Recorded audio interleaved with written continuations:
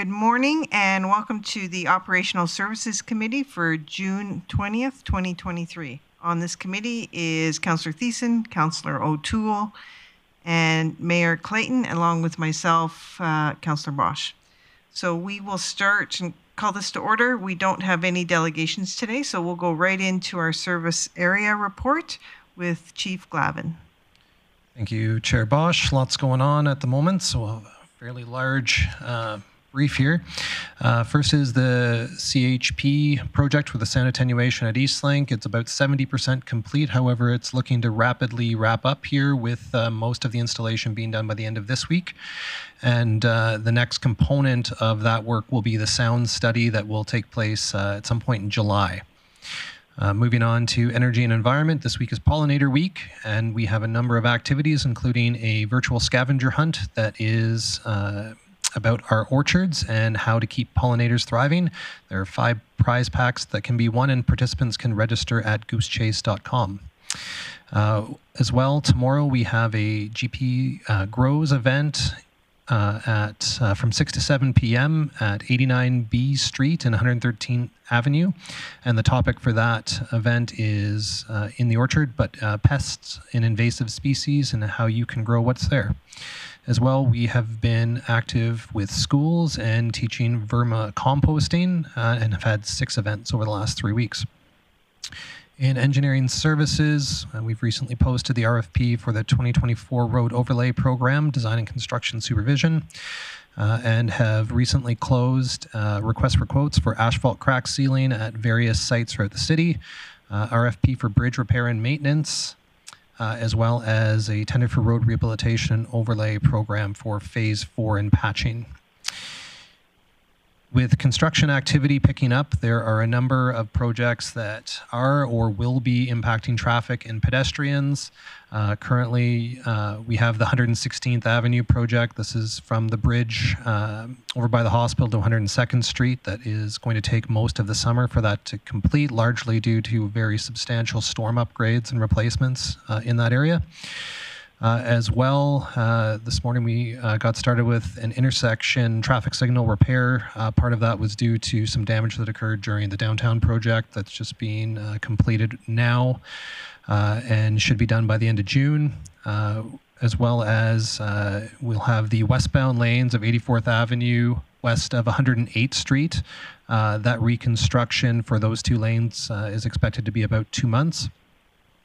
We have a intersection improvement and traffic signal installation at 132nd Avenue and 97B Street, uh, just kind of west of uh, Crystal Lake.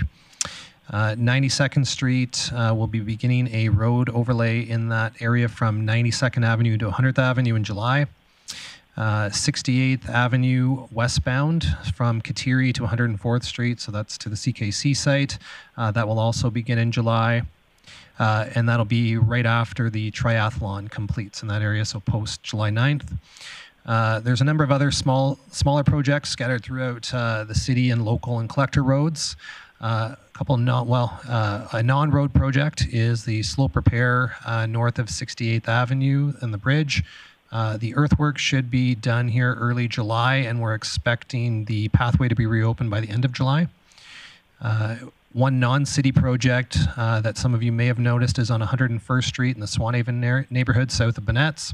Uh, this is a sewer upgrade uh, going from 98th Avenue to 90th Avenue.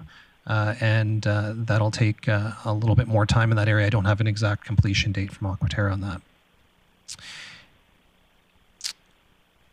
In transit, uh, we're hosting the Youth Advisory Committee on July 4th, and we'll be providing them a tour of our facilities as well as providing an opportunity to speak with various staff members uh, to allow them to better understand the complexity of how you deliver uh, transit in an urban environment. In parks, uh, a few things that the public will notice. Uh, we have, uh, we'll be doing our playground rototilling uh, in a number of areas, as well as the installation of 18 new picnic tables and four new red kiosks within the Muskoseepi corridor. Uh, with regard to operations and some beautification, flower planting has been completed, and most of our mowing is completely caught up from the shutdown due to the wildfires. Uh, naturalization is also underway at three new areas as part of the Boulevard Pilot Project.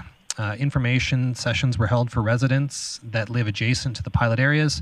Some themes from the sessions were concerns around fire risk, noxious weeds, litter, and increased wildlife.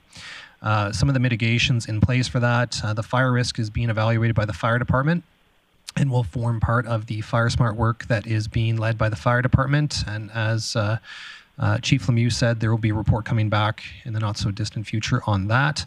Uh, noxious weeds and wildlife are being monitored and- controlled by our integrated pest management team, and litter is being monitored by our sanitation team.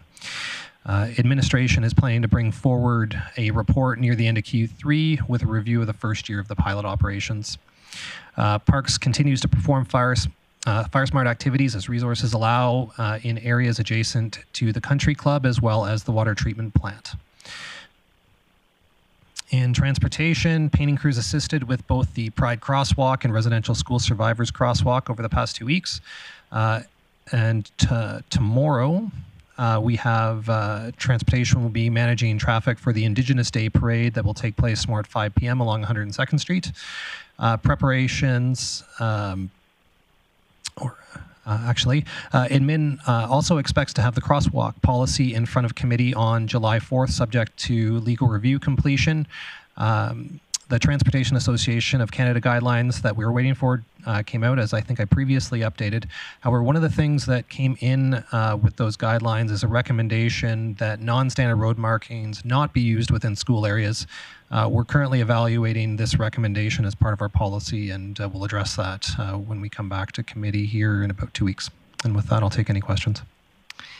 Thank you, Mr. Glavin. Yes, you do have a lot there.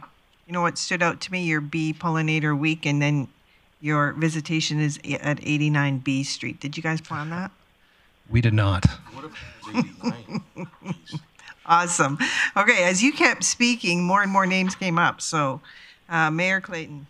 Well, lucky day, Chief Glavin. I have about four items, um, but I will go one and then get back in the queue. I'm just trying to figure out which one. Um, let's talk about the sewer upgrade um, west of Bonnet's first. Um, that isn't our project. Um, if I recall correctly, when council in a f- a few years ago approved um, funding for expansion or improvement on the Loden Bay at Bonnet's, one of the reasons we couldn't go ahead of it uh, was because of the capacity of the street and the infrastructure on the west side of that building. I'm curious with the sewer upgrade work, the project that's not ours, if now there will be increased capacity and the potential project of the upgrade on the doors is possible. And I'm thinking you may not know that right now, but if um, if you could get that to us, it'd be valuable. Yes, thanks, Chair Bosch. I don't know that answer, but that's something I can certainly look into and bring back. Great, thank you. You got other people? I do. Okay. Oh wait, I got three others, but Uh, Councillor Blackmore. I have two, but they're sort of the same. They're both street related. Um, so oh on come on. um, on uh, the um, bypass uh, reconstruction, uh, there was two lanes blocked off Sunday all day, but there was actually no construction taking place, and no construction had started yet. Um, so uh, I was obviously personally responsible for this decision because I got yelled at on three by three different people. Um, I'm wondering why we would uh, allow our contractors to block off a street when they hadn't started construction and it's a weekend. Can they not um, align their tasks a little better? Uh, that's one question. And the other question was I was wondering why uh, Resources Road southbound was closed today uh, in front of the co op. Thanks, Chair Bosch. Uh, so regarding the first question, um, yeah, I can't think of a good reason why uh, they would have had that off if they weren't doing construction, and I'll go back to our project manager on that and see what the reason was, uh, why they blocked the lanes off and didn't have activity happening. That's not something we would encourage. Okay. Uh, regarding the uh, southbound traffic on Resources Road this morning by the co-op. That is for the signals uh, wor- work that's being done due to some damage that was done during the phase four of downtown construction last year, uh, and some work that we're just going to do while we're there. Uh, if we're going to open the road up to do one thing, we may as well uh, make a couple other repairs that are necessary in that area. Will be necessary in the near future, and that should be done within two weeks. Thank you. Uh, Councillor Berg. Thank you, Chair Bosch. So uh, my question, um, Chief Glavin, is around naturalization. Uh, I like the idea. I uh, ultimately, to me, it is, is for trees to grow in and create a, a more beautiful landscape behind people's homes and create a buffer, a barrier between high traffic areas uh, and people's backyards. Are we planning on planting any trees to accelerate that naturalization? Thank you, Chair Bosch. Uh, I'm not aware of any specific tree plantings in the pilot areas. I think the pilot areas are largely going to be uh, monitored for noxious weeds uh, and will uh, evaluate over the next three years. If this were a permanent site, I think we would look at more investment into the area. But as it is pilot in nature, we're not looking to plant any uh, trees that would be assumed to be permanent. Okay, thank you. Thank you. Uh, Councillor O'Connor. Thank you, Chair Bosch. I have two points. Um, is there an overall, uh, Chief Glavin, uh, map that shows all the construction projects going on in the city? Okay. Thank you, Chair Bosch. Uh, yes, there is a map on the website called the Traffic Planner. It is a little bit busy as far as the amount of data points that are on it. Uh, in talking to comms, there will be a more um, easy to interpret map that will be coming out here on July 1st uh, that they'll be publishing with our construction projects. Okay. And my second point, uh, okay, uh, yet re- in regards to the naturalization, um, I'm not sure where all three are, but I'm assuming on Resources Road between uh, 80, 68th and 76th, that's being naturalized. And right now, that looks like it's had one cut and then a second cut on the on the on the top, and it, it's looking not bad. Uh, so I'm just wondering, there was invitation. We as counselors, we didn't receive any invitation to go to the meetings with the neighborhoods, and I think in future we would like to be at least I would like to be included on those invitations. Thank you, Chair Bosch. So I'll kind of address that in reverse. So I, that is some feedback that we got, and we'll in the future address that, where we'll ensure that where appropriate, council is invited. Uh, as you mentioned, council was not invited to the information sessions with adjacent residents, uh, but uh, certainly take your feedback and the feedback of some residents on that one. Uh, with regard to the locations, there are three locations for the Boulevard pilot. Uh, one is 116th Avenue near Copperwood, east of 92nd Street. Uh, the second is 84th Avenue near Canfor, so kind of east of Mission Heights Drive, where the fast gas is there, and on Resources Road, south of uh, 76th Avenue to city limits. Thank you, uh, Chief Glavin. Yeah, I'm just going to pop in here for a second. Too. Okay. Uh, this communication piece that we're talking about, can, is there something on our website that shows exactly where these pilot naturalization areas are? Or some, you know, shout out saying, look what we're doing at this point in time? And then aside of the traffic planner, I'm happy to hear that for July 1st, but something that tells people that this is something new that we're trying and um, to communicate to the public. Thanks, Chair Bosch. Uh, so with regard to the website, I'd have to look to confirm. I know that it was part of the agenda package when this was approved back in February, although that's long enough ago that probably no one would think to look there. Um, but I will bring that back as an item uh, if it's not on the website to get something on there. I think that'd be great. Thank you. Uh, Mayor Clayton, you had something on naturalization? Thanks, Chair Bosch. Uh, yeah, just on echoing that, the three pilot projects, uh, Copperwood, Canfor, Resources, um, I think that it would be valuable information to, to reshare, Chief Glavin, in regards to the benefits of naturalization. Council approved this project based on slowing water runoff, uh, preventing erosion, uh, reducing mowing, uh, facilitating improved carbon sequestration. Like there's a list of items there of, of the reasons that were presented to council when they made that decision. Uh, I think that highlighting those would be valuable. Um, also, um, tell committee the process of um, what's going to happen. So these pilot projects are going ahead. When will council hear success or not success, and when will um, the public have an opportunity to be aware of that because they may choose to come to council to speak about it? Thanks, Chair Bosch. So the the next check-in that we have planned for uh, committee and council is the end of Q3, so kind of the end of the growing season. That we bring forward a review of the current pilot areas, how they're performing, are they meeting expectation? You know, are there any issues with them? Uh, aside from some of the uh, uh, public feedback that we're getting uh, on those. Uh, and we'll include that as well. We do. We have captured uh, some of that feedback, so we'll we'll be able to speak to that as well.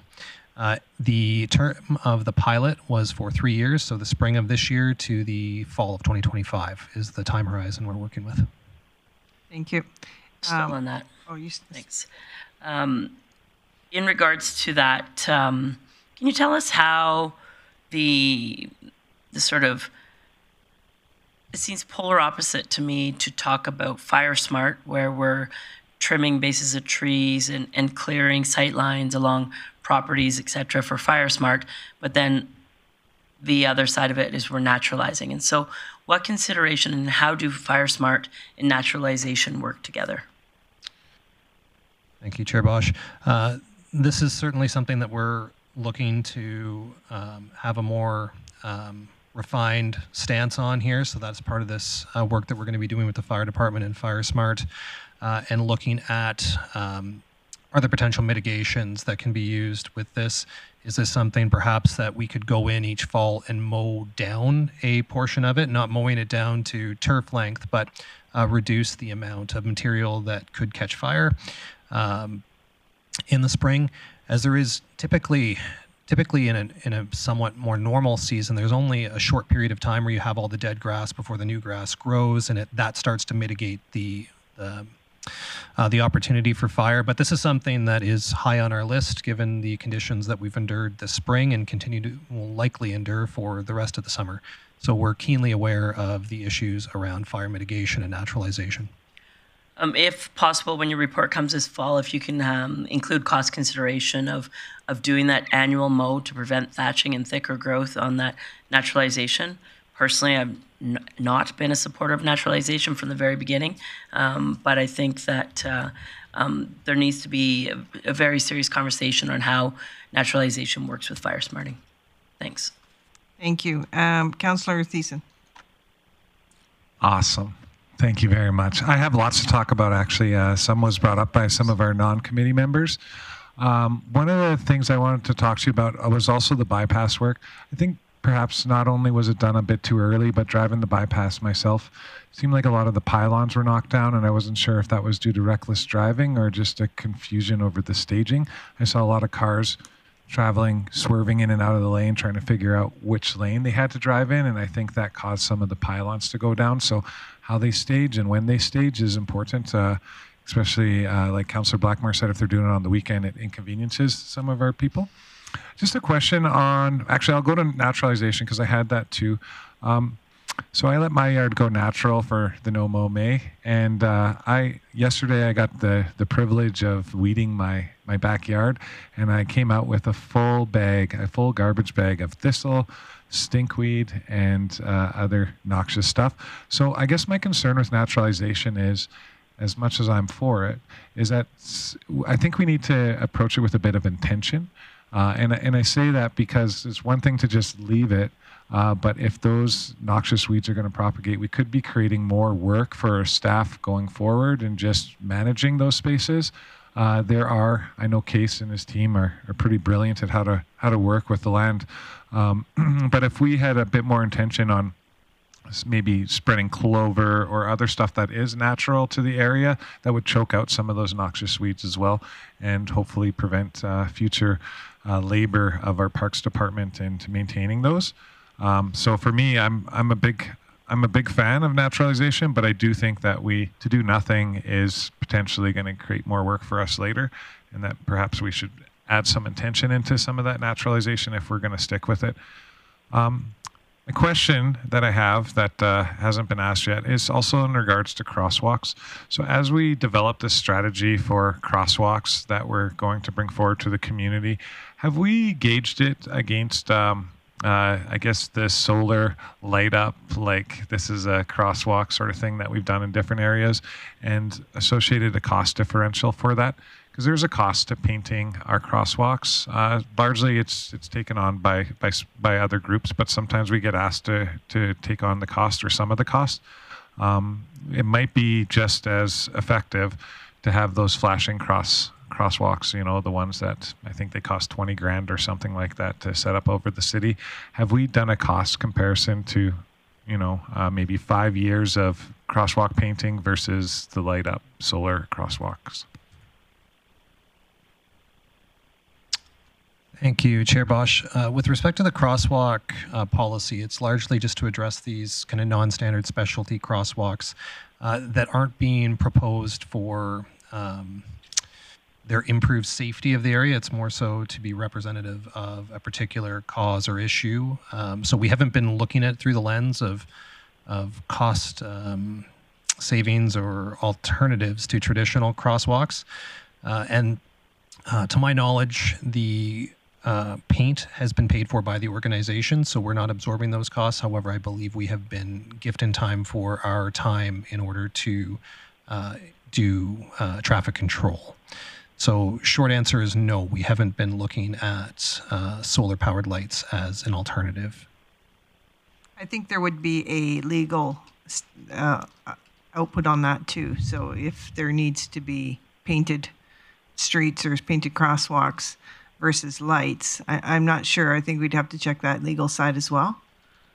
Well, and I think too, also, Chair Bosch, um, uh, when people are advocating for the crosswalks, part of it is to advocate for a certain cause or to brighten up the neighborhood. But some of the, the reasoning is to make the crosswalk visible so that people slow down over top of it. So there's a safety element to that uh, that I think is also served by other ways that we we do crosswalks. So just a, just a thought if, as we're going forward. If like uh, a group is like, well, we want to improve safety here, so we figure painting on the the crosswalk might be an advantage to us. Um, we could come back and say, well, over five years, this option might be cheaper to improve safety over that option. So uh, just something to be mindful of.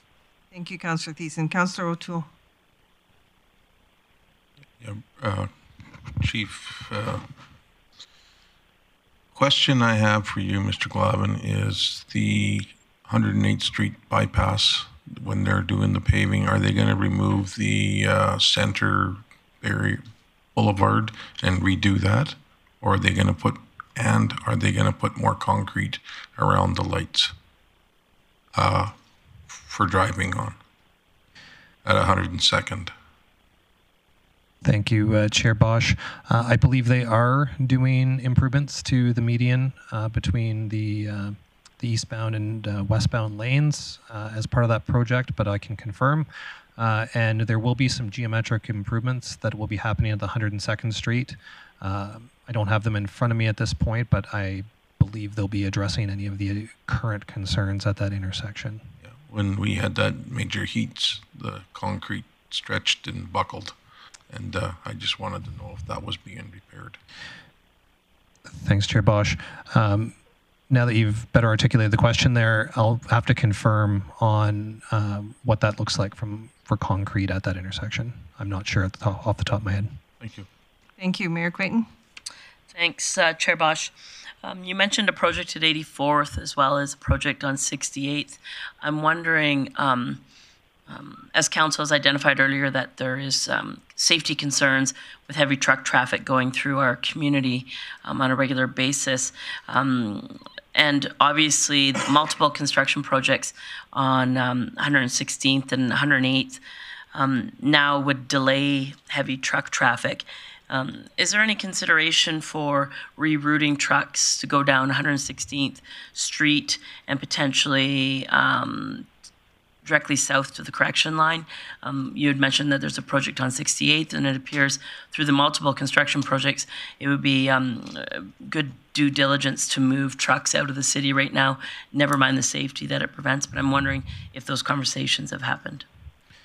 Thank you, Chair Bosch. Um, any new truck routes would be welcome uh, to move truck traffic out of our larger um, or more congested roadways. Um, right now, unfortunately, the uh, Range Road 63 in the county to the correction line is a non-truck route specifically, uh, in that the county does not allow trucks on that road. Uh, aside from it is also the over-dimensional truck route, so it's a little bit of a um, odd one in this one. It's the only over-dimensional route in order to get trucks across uh, the river to Highway 40. So uh, right now, we would certainly welcome that as an opportunity. Um, to my knowledge, right now, there isn't support for doing that. So I wonder if council, if somebody from council would be willing to make a motion to direct the mayor to write uh, uh, the Reeve of the County um, um, a letter to uh, request um, access to um, that route due to the delays and increased volume during construction season. So Okay, thank you. We'll just finish with the questions and then we'll go into the motions. Councillor Thiessen? Well, no, sorry. Let's stick to the topic, and then change the topics. Yeah. Yeah, I can I can make that motion. I think it's O'Toole appropriate. offered to do it already. And I just wanted to speak on that too, Was when the county was doing a bunch of work in Clairmont, they asked if we could designate a different route for a truck route to go through town. Uh, it was a pain in the ass for us.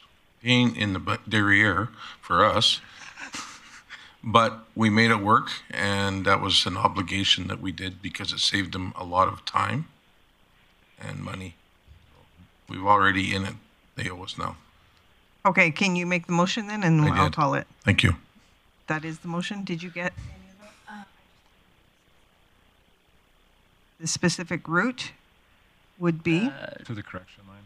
So to direct traffic uh, south to the correction line On 116. On 116th uh, Street.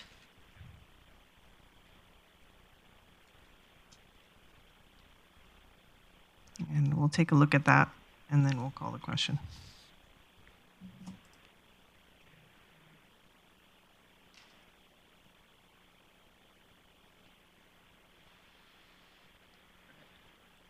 Do you have it? Oh, there we go.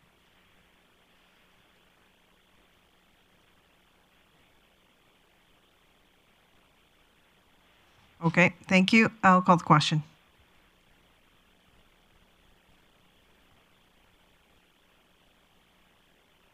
And that has passed. We'll go on to the next question. Councillor Thiessen. Thank you very much, Chair Bosch. Wow, this is awesome. We're getting business done, and it's a it's a pretty light agenda, but a busy busy uh, department. Um, uh, Chief Glavin, uh, in regards to the 84th Avenue westbound lane construction, um, I know for a few years uh, Aquatera was doing work on the on the eastbound lane of 84th, and construction was staged across those westbound lanes. How much like uh, that road was done relatively recently, within the last 10 years. Um, just a, uh, is this a, just an overlay project, or are we doing part road reclamation? And I guess the final part of the question is, how much wear and tear uh, do we imagine we experience because of that long construction season with Aquatera? Thank you, Chair Bosch. Uh, there's a, new, a number of challenges with um, 84th Avenue.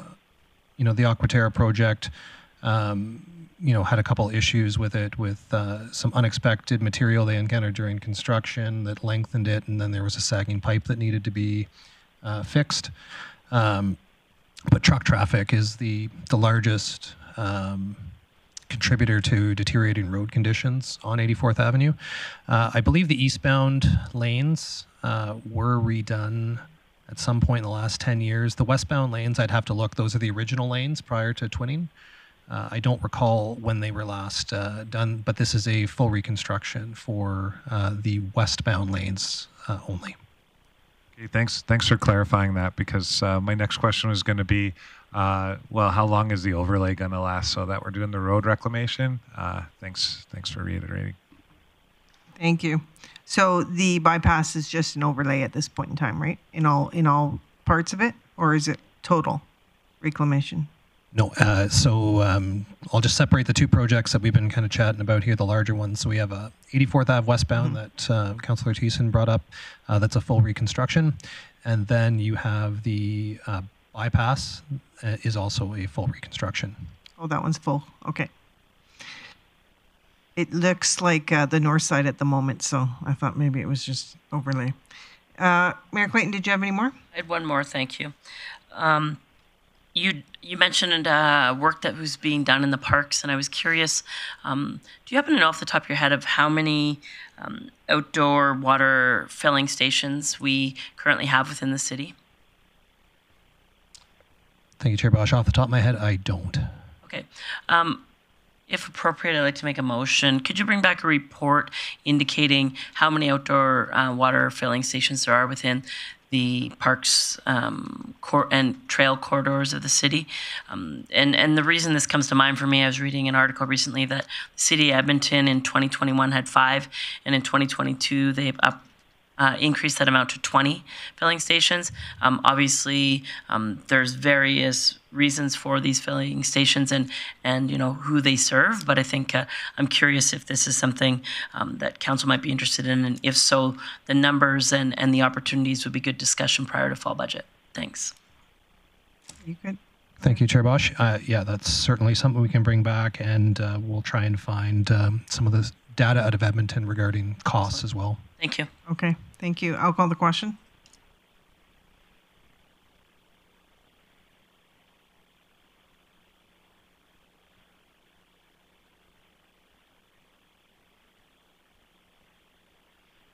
And that has passed. Thank you.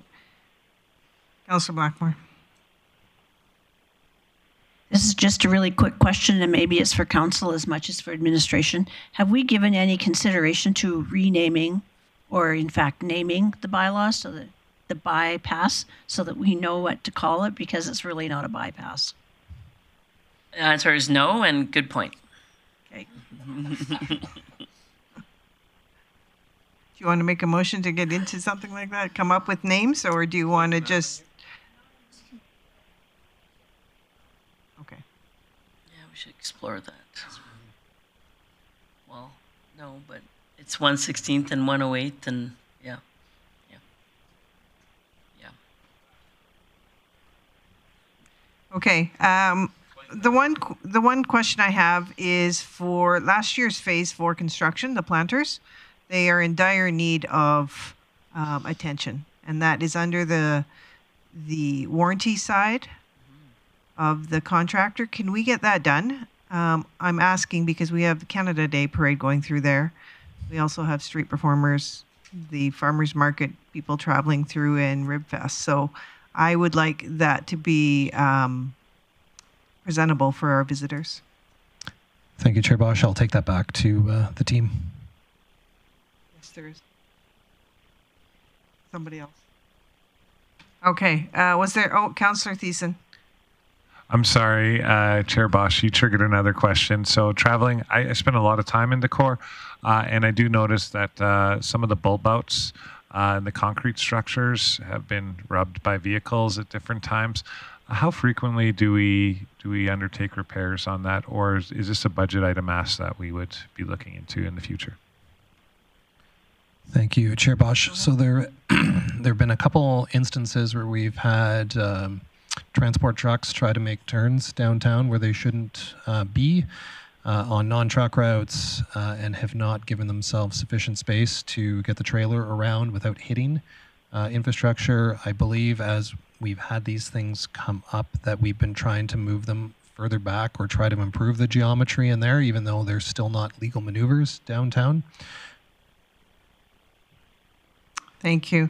Um, spike belts. Nice.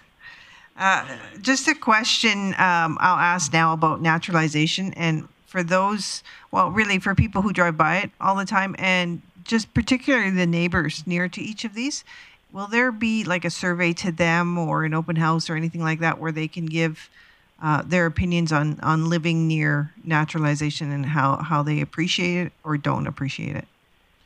Thank you, Chair Bosch. There aren't additional consultations coming up, but we did have three uh, open houses. Four, well, I shouldn't say open houses. We had three uh, sessions where we invited the residents that were adjacent to the pilot areas to come out and give their feedback. Uh, and uh, we'll include that as part of our update uh, on the progress with naturalization in September. Uh, but there is nothing else planned at this point.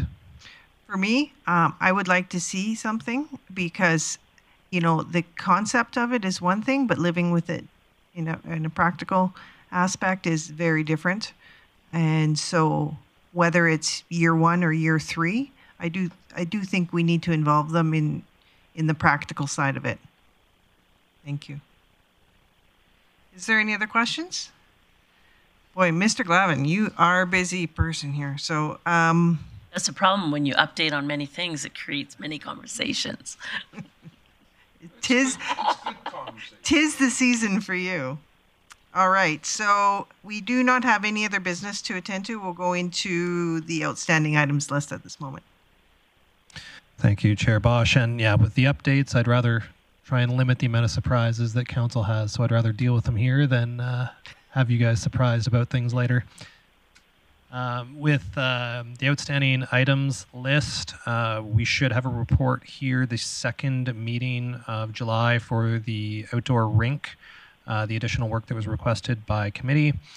Uh, the road for the Avondale Recreation Site to 116th Avenue. We're also looking at uh, probably late Q3, but prior to budget, should council want to consider that for construction. Uh, St. Joseph's High School crosswalk painting, that should be here at the next committee on July 4th, subject to legal review. Uh, design and construction standards uh, on track for Q3. Uh, the Atlight Street Atco streetlight proposal will be on council uh, for next council meeting, so that can be taken off this committee's work. Okay, thank you, Chief Glavin. I need somebody to, Councillor Thiessen, he's next.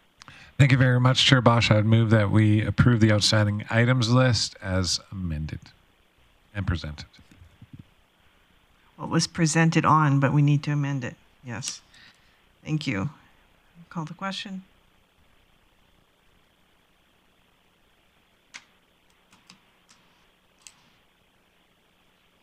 Mayor Clayton in favor? It's not coming up. Thank you, and that has uh, moved on, or passed, sorry. I'm moving on. We're going to adjourn adjourn this meeting. Thank you.